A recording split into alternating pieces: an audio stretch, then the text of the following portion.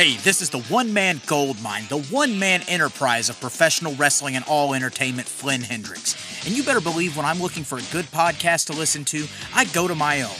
I go to the I Know You Hear Me podcast hosted by me, Flynn Hendricks. That is such a fresh perspective for how you should look at life, too. Like, I just, I love that. And then when I'm feeling spooky, I go to my other podcast, Tales from the Haunt, where myself, I want my head shoved inside a 15 pound silicone mask more. You know, I want to have a bucket of sweat coming off me at the end of the night. than just Jeff. Dogs don't lay eggs, Flynn. I hate you so much. talk to other scare actors about what it takes to get into the world of scare acting. So if you're curious about how people became professional wrestlers, actors, prioritized their mental health, became entrepreneurs, avoided burnout, or got into scare acting, you need to go check out I Know You Hear Me and Tales from the Haunt, available on all podcasting platforms. And I know you hear me.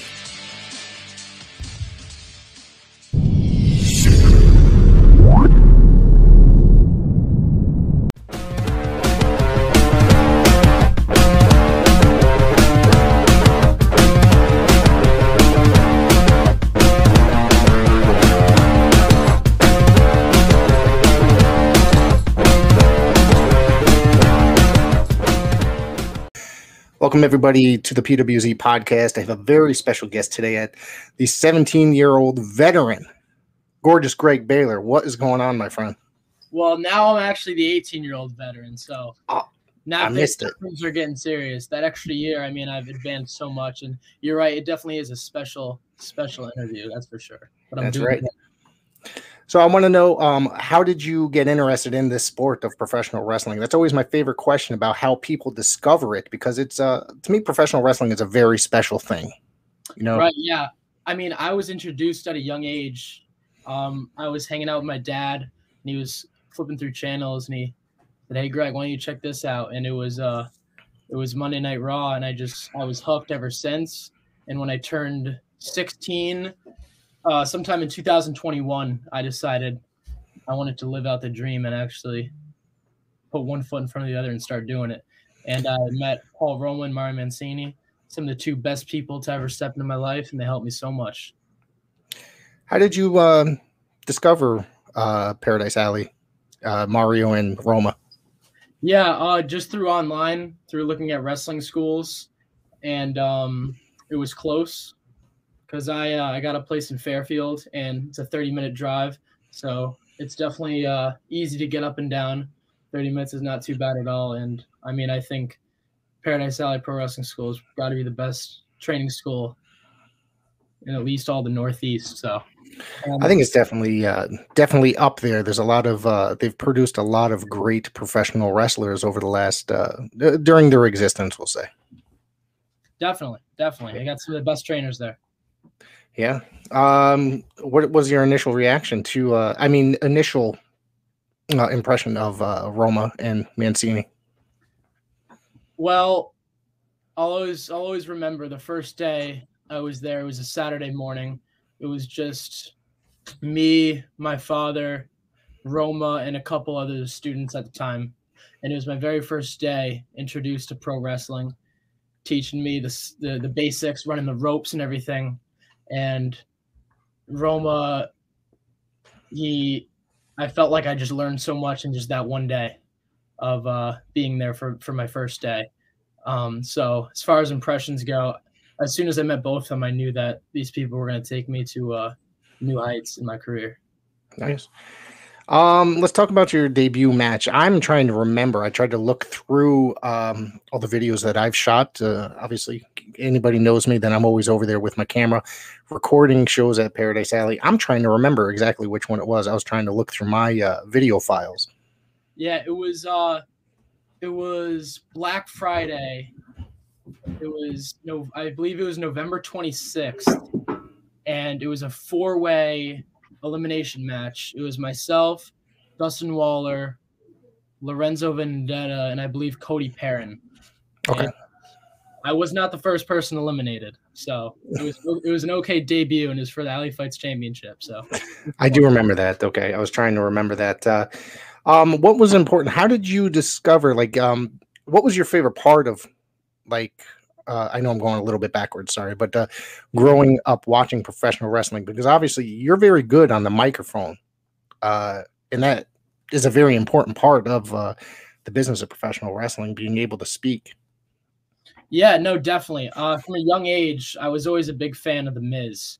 Okay. Uh, I I related to him in a way because there's people that boo the Miz, Mhm. and there's no good reason why you should boo him. I mean, he's absolutely amazing. Everything everything he does is perfect. Yet they boo him, and I've always wondered, well, why is it? Why do they boo the Miz? Because I'm sitting in Fairfield, Connecticut, in my very nice house, my king size bed, and I'm just looking over at my dad. I'm like, why do they boo him? And we both came to the agreement that it's mainly because all those wrestling fans hate him because they ain't him. They don't have the money. They don't have the luxury. They don't have the woman he's got. They don't got anything. And that's why they boo him. So that from a young age, I I was definitely attached to the Miz in that way because I related to him in that sense that people are gonna hate on me just because they can't be me. And I see that a lot today in wrestling. All right. I'm going to go over some moments of your career. I might bring up stuff that uh, might be a little uncomfortable bringing uh, answering, but I want to get down to uh, your opinion on some things. All Okay. All right. Uh, not necessarily this next question, but you were paired up uh, pretty early on with uh, Fly Ni Noreaga, right? Right, right. With um, you came in um, and tell us about you worked with uh, Mark Alexander and Mills Hendricks in a match. Uh, two really bright up and comers. Uh, what was your opinion of uh, that match and those guys? Well, it was I believe it was supposed to be Mark Alexander and Mills Hendricks. It ended up just being Mark Alexander actually got hurt. Okay. Remember? Okay. It was Fly Ni and myself versus Mills Hendricks. And for a while, Fly Ni and I, I mean, I I I, I was, you know, paying him to help me as far as wrestling goes, take care of guys like Sunset Steve and all that. Oh, we're going to get into that as well. Yeah. And at first, it, it, it was a good thing. It was going well, and I think I think Fly Ni just got greedy. I think it got to his head. I think he wanted the spotlight uh, that I had, and he knew he could never be me. He could never look like me, never walk like me, or talk like me. I was always just cat. Every, everywhere I go, I just steal the show, and he didn't like that. He wanted to be that guy, and he couldn't be that guy with me, with him standing in my shadow. So then things got a little difficult, but that's about it. I brought this up with Fly Eye in the past, but you know, you guys went into to, to Garcia's uh, house, you know what I mean, and attacked him and stole his shoes. You stole his shoes. What's up with that? Well, Fly and I stole his shoes. I don't need those uh those things that Sunset Steve calls shoes. Those things look like they just came out of the sewer. I, you know, um, not really my style, put it that way. But yeah, uh Fly I, like I said, I think he's a little greedy. I think he uh we went in there to do our thing, confront Steve, and And I wanted a new pair of shoes. I don't know what else to say. I think Did, he you- uh, make sure the, the that the, the checks cleared at least? check's always cleared. Don't worry about it. Check is cleared. Check's cleared. right. You guys, all right, this might be a little uncomfortable. I'm not sure, but you guys were paired up with a gentleman for a little while in your corner. Um, some people have their certain opinions about this, but uh, Mickey Biggs. Let's talk a little bit about Mickey. And uh, he seems to have disappeared. He came back for a brief moment and then pretty much off the face of the earth. Yeah. Uh I know about just as much as you guys do with Mickey Biggs. Um right. he he showed up, he walked out with me. Good guy. Uh good dude. And uh I think it's again anyone who walks out with me and no disrespect to anyone, they they will not be noticed. They will be in the shadow.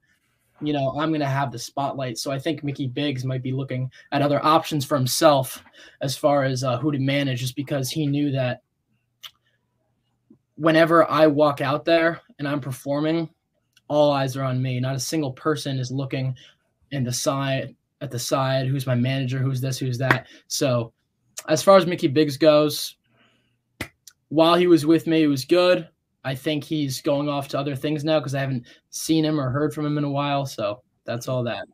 Do you think he was just trying to get a little bit of the shine, a little bit of the money because he was with you? Maybe. That's a really good point. That's a really good point you made, and I missed that at first. I think that's exactly what it is. And at this point in my career, even from the very start, I've noticed that people want to jump on the bandwagon and be all buddy buddy with me because they know I have simply everything needed to be a professional wrestler. And Mickey Biggs just realized that he looked at the locker room, he looked backstage, and said, "Okay, Greg Baylor, you're that guy. You're literally him. You're the tallest, the youngest, the best looking, the best in shape, the best performer. There's no one that could lace your boots." And he knew that, so he wanted to uh, get a little piece of the pie, so you could say. Yeah, unsuccessfully though. Definitely. I mean, you know, you're probably one of the brightest up and comers, so he was probably, like you said, jumping on the bandwagon, trying to put a little extra in his pockets, and That's right. That's all. maybe not work out. Yep. Yeah. That's exactly it. All right, let's see. You've had some really great matches since you've uh you, you've been here in uh in Paradise Alley. We're gonna move on. Can you What's say that? that again? Can you say that again? I've You've had some really great matches. one more time, please, please. One really more. great. You have had some really great matches Please. since your your time, and you've One more time. I promise that's it. One more time. Let's hear all it. Come on. You, gorgeous Greg Baylor, have had some really great matches since your time here in the business. You've uh, only been here for been in the business what about two years, correct? Maybe. Yeah, yeah. Um, actually, I've been working matches on shows for about a year and a half, but I've been training for about two years. Yep. Yep. And you know you've um you've expanded outside of your home promotion, which is Paradise Alley, which uh, Yeah. you've met some really great talent in there. I'm going to go over a couple of those names here. You can give me your opinions on them, and we can move on to uh, some other stuff. Okay. You had a uh, quite an impressive match with a legendary uh, wrestler from the New Haven area, Bloodsaw. Yeah, Bloodsaw. He he's interesting. He Bloodsaw is first of all a very huge man, and he moves as fast as the speed of light, and that can be intimidating for a lot of people that need to go up against him. Just not me. Just not me, because I I I see and envision and find the loopholes in wrestling. So when I roll out the ring, people say, "Oh, you're a chicken, get back in there." You think I'm just being a scaredy cat, but really I'm just analyzing and thinking ahead of time of what I want to do. And they boo me. The fans boo me, but really they should be cheering me because the fact that I can think ahead. I can think on the spot and say, "Okay, he just beat me up for a little bit. What can I do to beat him up?" And I take my time and what do I do? I get back in the ring and I do what I say I'm going to do. I beat him up. But as far as Bloodsaw goes, we just had a match. It was a 20 minute time limit, and it ended before those 20. It ended after the 20 minutes. And I did tap out, but it was after the bell rang. It was after the 20 minutes ended. So technically, I didn't lose. And a That lot of doesn't count. upset. Yeah, a lot of fans were upset with that, saying, "Oh, I, I lost, I lost, I tapped out." Guess what? I technically didn't lose because I tapped out after the bell. So that's that. Mm-hmm. I mean, there, there's rules for a reason, and the, the bell is the beginning and the end. Anything that happens before or after does not count. That's right. That's right. Tell me about working with RJ Rude, who was a very popular uh, wrestler from the Northeast and uh, Paradise Alley original. Uh, he comes out of the school there, and uh, he was very, uh, you know, he was away for a while from Paradise Alley, and they came back. I think it was the last year, the year before. So, and you worked a match with him. Yeah, I I wrestled RJ Rude right after actually coming off of a broken a broken leg. I believe that was my first match back after I Okay. suffered a broken leg injury, and I was ready for it. I definitely was. I ended up losing that match. I don't like making excuses, but I will say the atmosphere and the fans constantly yapping in my ear, that can throw me off sometimes. It really can. And I think if the PAPW fans in that situation were a little more well rounded, better dressed people with a lot more going for themselves, I would respect them more and feel for them.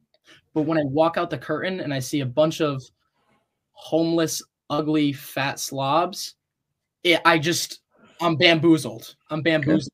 And It's not your thing. You're not used to being around these kind of people. I'm really not, and it got to my head, but that's something I need to work on. I need to look past the uh the bums in this world and just keep doing my thing. You have a victory over uh, somebody that's been around a very long time, going on, uh, reaching his uh, almost 25 years. He's a couple years away. Bull Dread. Of course, Mickey Biggs joined you in that match. Uh, I think that was the final time. And this one uh, was for type one to none. Your feet were on the ropes, correct? Well, well, I don't know about that. Look, No? wrestling ring is designed a certain way. Right. There's ropes for a reason. Can I just I'm using my resources. They say, "Oh, I cheat. Oh, I'm this, I'm that." I'm just smart. I'm using what I have. I'm using my resources. That's about the best thing you can do. Yet they still boo me. But I don't blame them for booing me because none of those wrestling fans are college edu- educated. So they don't get it. But as far as that goes, I mean, let me off the hook there. I don't think it's too big of a deal. I think I beat him fair and square. What about working with someone at uh, on a dreads level? Uh, you know, with his experience and his years in the ring. Yeah, yeah, no, I was I was excited for it. I was. I'll give Bulldred credit. I think he's done so much for this business, especially in the independent wrestling circuit around this area.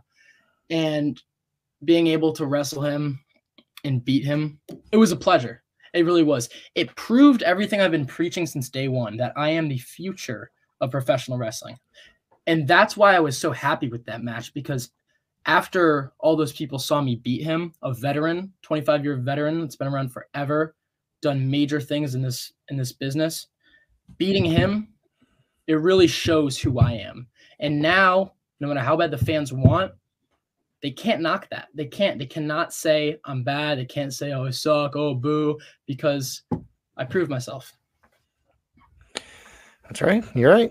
Uh, you took on the Uptown Boys, which is Matt Awesome and Jared Diaz in a match. I'm trying to remember. Was that the was Fly Ni your partner there? I'm trying to. I don't didn't put that part in my notes for some reason.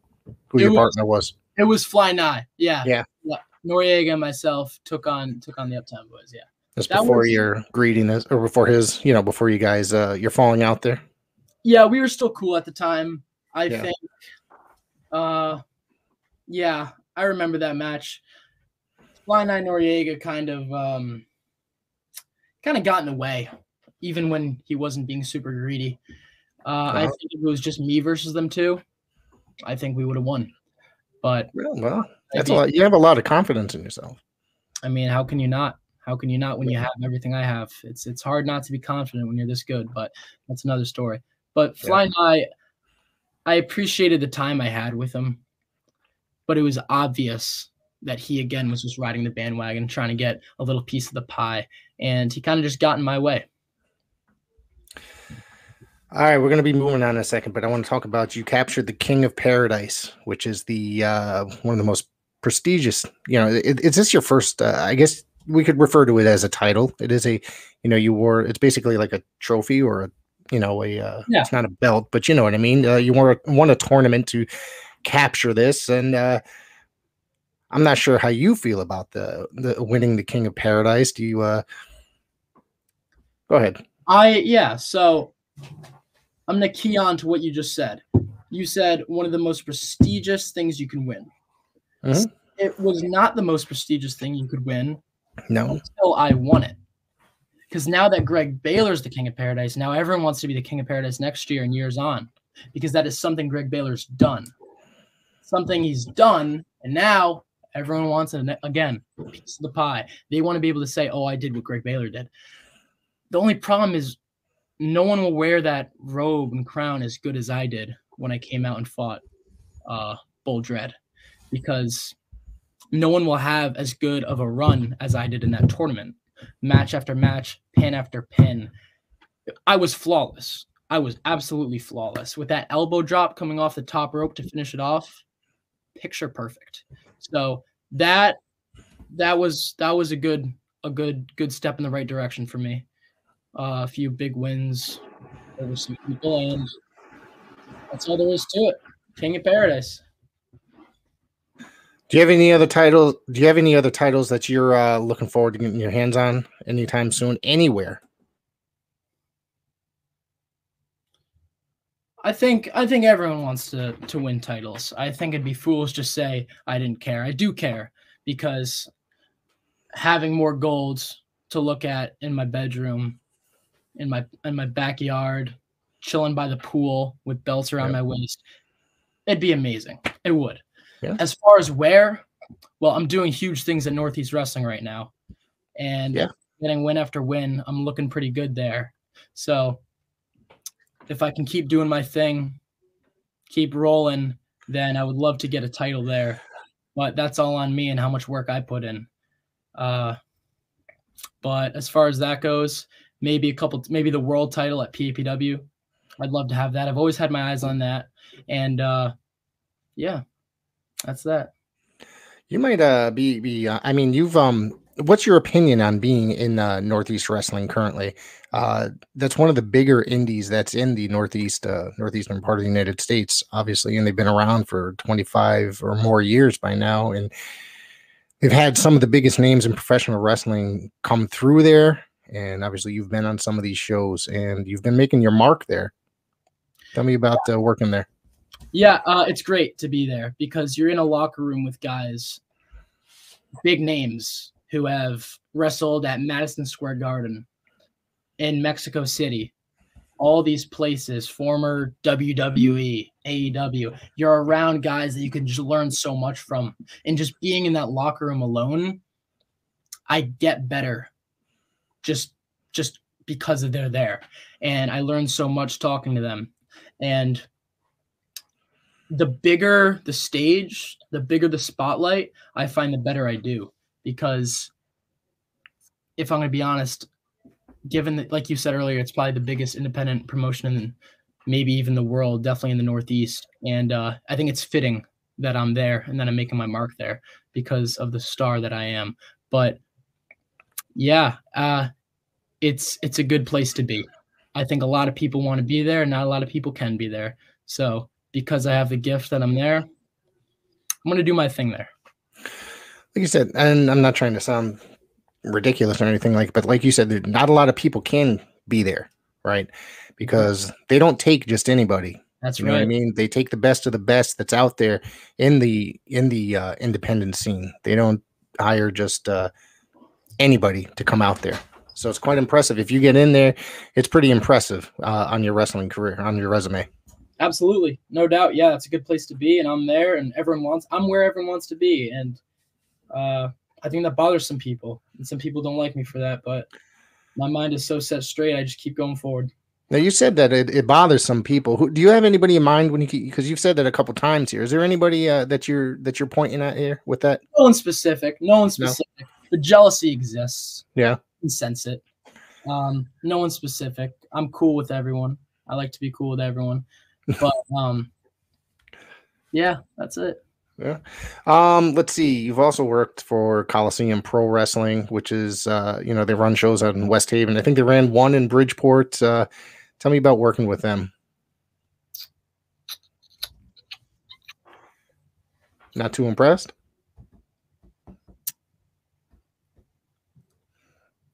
Hmm. Did you freeze? No, I didn't No? freeze. No? Okay. I'm thinking. I'm thinking before I speak.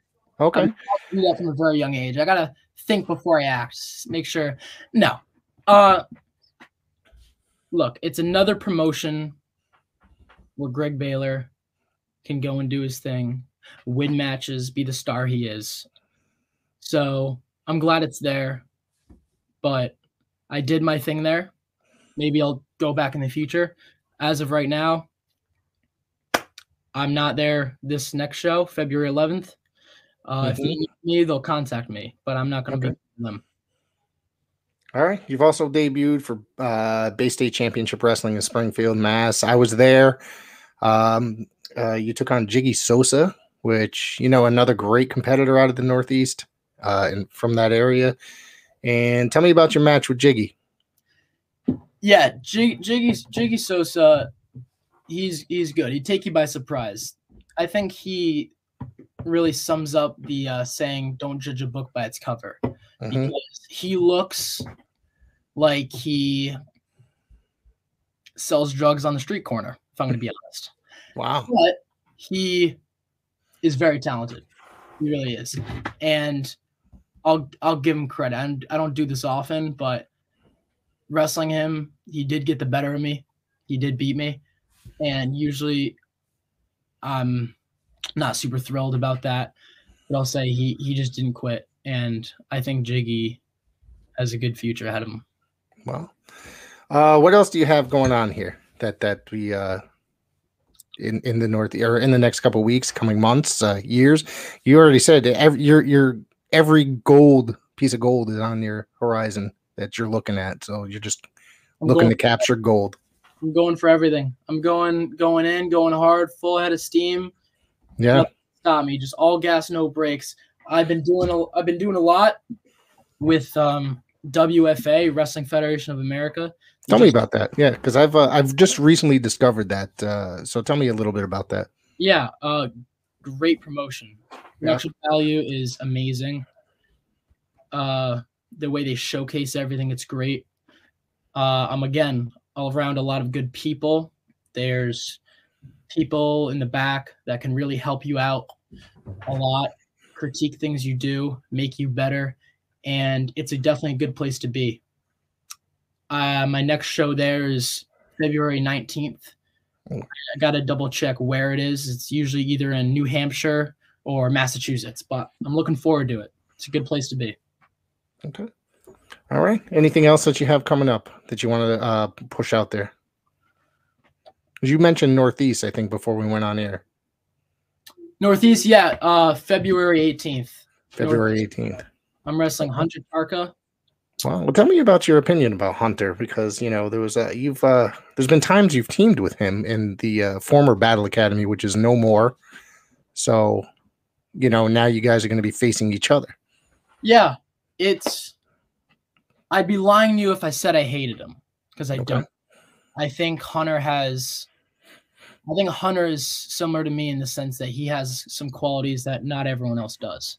He has size, strength, height, which is something not a lot of independent wrestlers have. And he, I, I've been watching a lot of film on him to to prepare myself. That way, February 18th is easy for me. But I'm going to be honest. I'm I'm going to be training hard for it because I think Hunter is a great talent, and I think he also, like me, has a big future ahead of him. So I'm going to do my best. But he's he's no joke. Just recently saw a match of yours um, in Northeast against another former Battle Academy member. I just watched it on the High Spots Network, which was uh, Lorenzo Vendetta, which I thought was a tremendous match. So Thank you. speak. Yeah, it was very good. I mean, I like to see. You know, I watch. Um, I watch a lot of wrestling. Obviously, everybody knows that. I watch a ton of wrestling, especially stuff that's out of New England and the Northeast. So a lot of the guys, especially if there's people I know, such as yourself, and you know, guys out of uh, a certain promotion that I've you know somewhat befriended, I will go out of my way to watch their matches and other promotions and stuff like that. So it was very good to see you and Lorenzo doing that uh, that match. I thought it was very good. Yeah, yeah. I thought I thought it was good too, mainly because, you know, Greg Baylor got the win as he as you know, which was not a surprise to anyone. At least it shouldn't have been because just the the size of me, everything I do, everything all around. Uh, I was able to really again showcase what I've been preaching since day one that I am the future. That was a big win for me. Lorenzo Vendetta is a great competitor. Uh, I definitely don't think it's the end of Lorenzo Vendetta, but it's uh, definitely the beginning for Greg Baylor. A lot, a lot coming ahead of me.